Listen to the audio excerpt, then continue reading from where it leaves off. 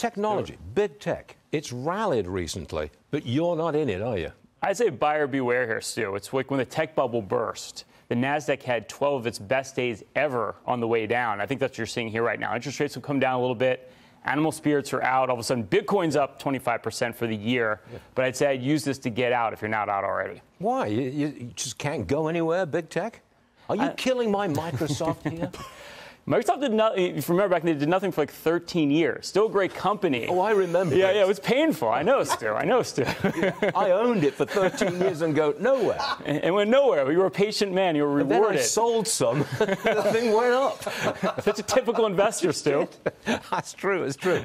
Okay, so you're yeah. not back in. Not back in here. I think this time lessen your tech exposure, get diversified elsewhere. Okay. We had big banks, some earnings reports, uh, two this morning. What are they telling you about the economy and the markets? I think it's very good. I mean, we had beats on Friday. Bank of America did great numbers. So did uh, J.P. Morgan. You know, a little mixed today. Goldman didn't do so hot, but Morgan Stanley just crushed it.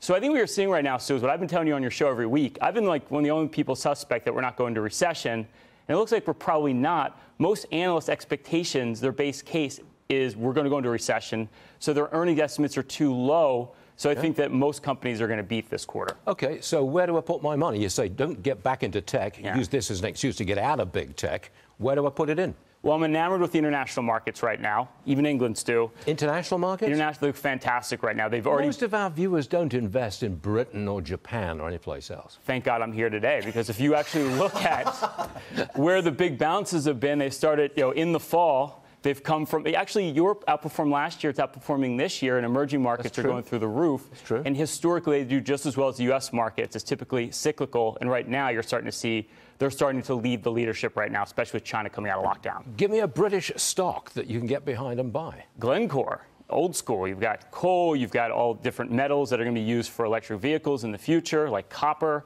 Um, it was a great stock last year. Valuation's still cheap. Most British stocks are still cheap. FTSE's all the way back to its all-time record high.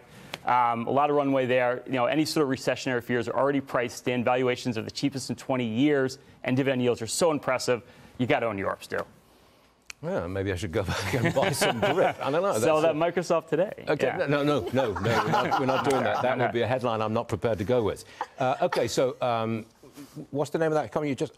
Glencore. Glencore. Give me another one. Yeah. Give me, another man, you put me on the spot today. Yeah. Um, okay. So I also like I like Royal Dutch. Anything energy related in Europe trades at a discount to U.S. energy companies, and we know right now energy is not going away. The need for fossil fuels is going to be huge. Dividend yields very attractive. Valuations again are much cheaper than U.S. energy stocks got to own in your portfolio. It's been a long time since we had a guest who said, you got to put your money in Britain. That's been a long, long time since I wanted to blow that. your mind this morning, Stu. Yeah, you did it, son. You did it.